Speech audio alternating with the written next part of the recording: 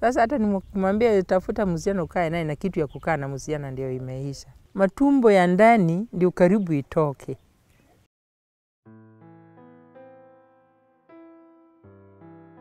Hali yangu kidonda niko nao sehemu ya siri, imekulika yote ikaisha, na nyuma pia niko na kidonda karibu mbili, na katikati pia niko nayo.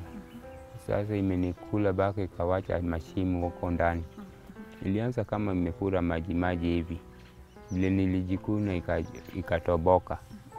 Sasa vile nilitoboka, nikaanza kwenda matibabu huko sehemu ya Muhoroni kajitibu huko, sababu huko ndio nilikuwa nikifanya kibarua huko.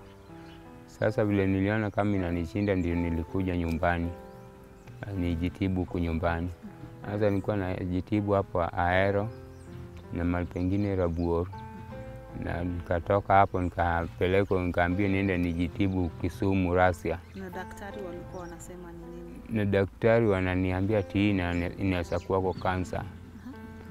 Sasa alinitibu, mi naona bado hiyo ugonjwa wangu inaendelea tu, hakuna si, sipati nini nafuu.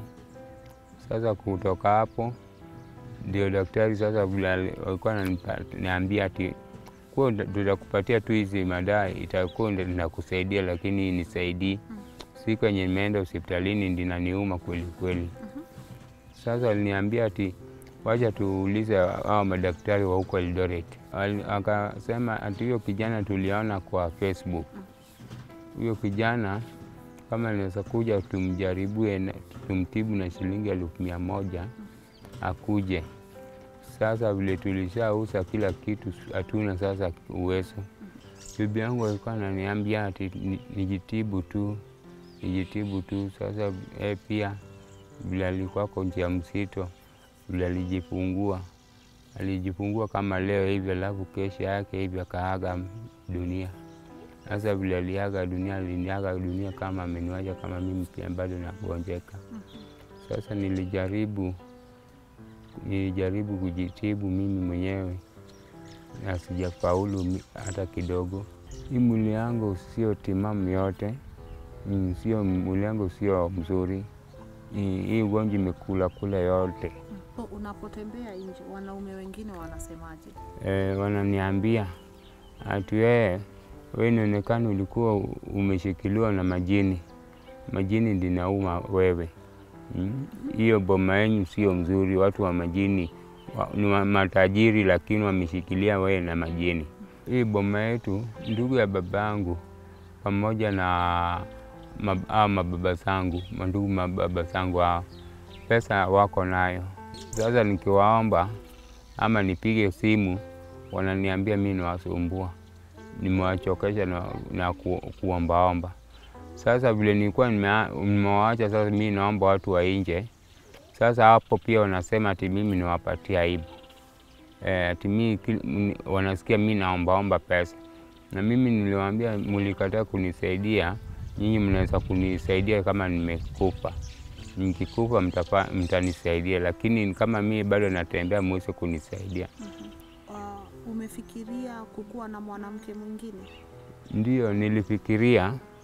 Sasa nilifikiria na vile sina jinsi ya mwanaume, sasa niliona tu naweza kumchukua tu, lakini tuelewane tu na yeye mm -hmm. e, nimwambie upande hiyo upande hiyo unaweza kunisamea, upande hii imenishinda sasa tunaweza kukaa tu, anitengenezee watoto wangu, anitengenezee chakula, anioshe manguo mm. Lakini upande hiyo sasa anaweza kumwambia upande anisamehe. Sasa mimi vile naweza kufanya mapenzi, naweza kumwambia naangalie tu semeji yake mwenye anaona ni mzuri, ndio naweza kukaa nao, lakini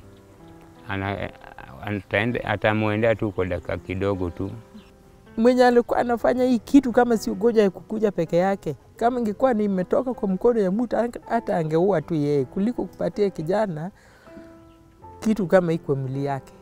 E, mimi nasikia mbaya, nasikia huzuni kwa sababu mi naona vijana mwenzake kama natembea mi nalia, mi naangalia hivi, nasema hata hii kijana yangu ali- alikuwa anatembeanga tu kama hao.